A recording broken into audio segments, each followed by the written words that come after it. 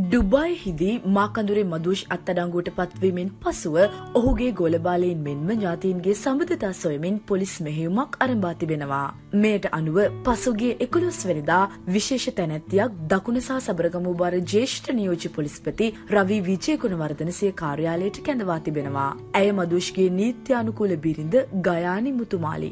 ඇය වාසය කළේ කඹුරුපිටිය මාවරල පොලිස් වසමේ මාකඳුරේ වටේවෙල මහගෙදරවත්තේ. ගයානි මුතුමාලි කුමාරි ජේෂ්ඨ නියෝජ්‍ය පොලිස්පතිවරයාට සිය ජීවිත කතාව සැකවින් පවසා සිටියා. මම මාකඳුර වටේ වෙල මදුෂ් කඹුරුපිටියේ ගතාරේ. පාසල් සමයේදීම අපි අතරේ පෙම්පල හිලව්වක් තිබුණා. මදුෂ් ඒ දවස්වලත් කඩවසම් තරුණෙක්. එයාට විශේෂ කාන්තා ආකර්ෂණයක් තිබුණා. අපි හම්බ වෙන මුල් කාලේ ඉඳන්ම මදුෂ්ලගේ පවුලට ගොඩක් කරදරාවා. 1988 89 කාලේ දකුණේ ඊටාම නරක තත්වයක් තිබ්බේ. මදුෂ්ගේ අම්මා 1989 දී නැති වුණා. මදුෂ්ට හොඳට ඉගෙන ගන්න පුළුවන්. අපස සාමාන්‍ය පෙළත් එයා හොඳින්ම පාස් වුණා. ඒත් මේ තිබුණු කරදර නිසා එයාට දිගින් දිගට ඉගෙන ගන්න බැරි වුණා. ඉස්කෝලෙන් අයින් වුණාට පස්සෙත් අපේ සම්බන්ධය තිබ්බා. ඒත් මගේ අම්මලා තාත්තලා මේ සම්බන්ධෙට පොඩ්ඩක්වත් කැමති වුණේ නැහැ. හේතුව තමයි මේ ඇති වෙලා තිබුණු තත්වයක් එක්ක මදුෂ් ගැන තිබිච්ච නරක චිත්‍රය.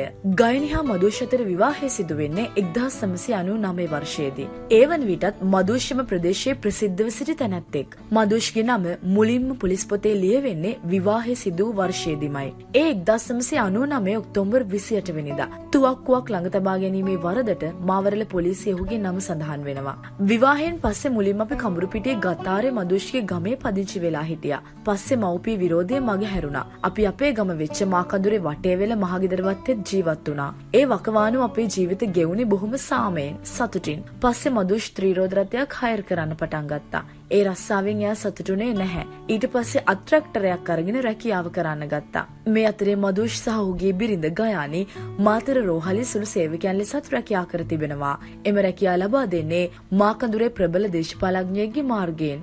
මදුෂ්ට උපස්ථායකයෙකු ලෙස රැකියාව ලැබුණා. මං කනිෂ්ඨ සේවිකාවක් ලෙස රැකියාව බාරගත්තා. ටික කාලයක් අපි රස්සාව කරගෙන හිටියා. ඩැනී හිත් ඇටියගේ අපේ ඥාතීන් මේ ඔක්කොම ගැටුම් ඇති වුණේ ඉඩම් ප්‍රශ්නවලට. අපි මිනිස්සුන්ට ගොඩක් සැරයක් කිව් අපිට අපේ පාඩුව ඉන්න දෙන්න කියලා. මේ ඇත්තමයි කියන්නේ. ඒ කාලේ මදු ෂේයයිව මගේ ඇරලමයි හිටියේ. එහෙම ඉන්න ඉන්න එයා අපිට නොසෑහෙන්න කරදර කරා. මදුෂ්ට ශාරීරිකවත් හිරිහැර කළා. මේ සියල්ල මැද්දේ ජීවිතේ ගෙවිලා ගියා. අපිට 2001 අවුරුද්දේ දරුවෙක් ලැබුණා. එයා පුතෙක්. ඒ පුංචි පුතුත් එක්ක කල්ගෙවන සමය එල්ලවෙච්ච කරදර නිසා මදුෂ්මට කතා කලා වෙනත් පැත්තකට ගිහින් ජීවත් වෙමු කියලා. ඒත් මං ගියේ නැහැ. අපි අපේ ගමේත් මදුෂ්ගේ ගතාරි ගෙදරත් සැරින් සැරේ දරුවත් එක්කම ජීවත් වුණා. දරුවත් අරගෙන පහුගිය අගෝස්තු 11 වෙනිදා සිංගප්පූරු ගියා. දරුවට දෙන්න අවුරුදු 18ක්. එයා හිටියලුකු අසනීප තත්වික. එදා මම සිංගප්පූරුවට ගිය පුතාට බෙහෙත් ගන්න. පස්සේ මං අඳුරන්නේ නැති දෙන්නෙක් ආව සිංගප්පූරුවට. ඇවිල්ලා අපි දෙන්නව ඩුබායි එක්කන් ගියා. ඒ ගිය ගමන ඩුබායි වලදී මදුෂ්ව හම්බ වුණා. ගයානි මදුෂ්ව අවසන් වරට මුණ ගැසී තිබුණේ එසේ ඩුබායි ගිය ගමනේදී. එදා සිදු වුණු දේත් ගයානි පොලිසියට කිව්වා. මට එදා මදුෂ් කිව්වා දරුවවයාට අවශ්‍යයි දරුවා වෙහි තියලා යන්න කියලා. මම මොනවා කරන්නද? කොල්ලව ඩුබායි වල තියලා මට හිස් අතින් එන්න වුණා. මට කොල්ලා ගැන පුදුම තරම් දුකයි. you